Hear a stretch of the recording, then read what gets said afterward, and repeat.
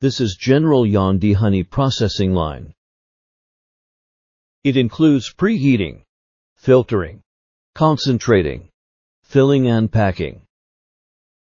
The consent are acting as under vacuum with low temperature.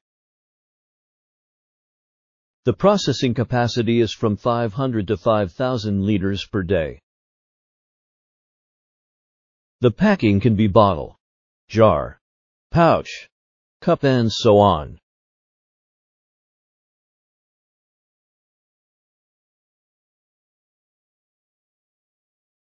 Please follow Genyond Company for more videos.